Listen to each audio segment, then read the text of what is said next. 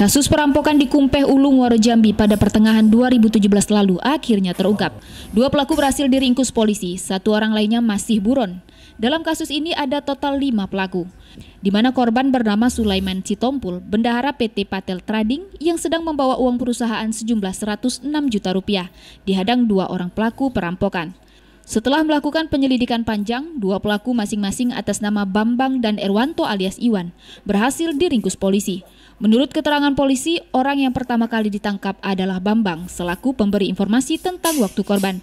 Lalu dilakukan pengembangan, hingga akhirnya petugas menangkap Erwanto sang eksekutor yang melakukan perampasan tas berisi uang.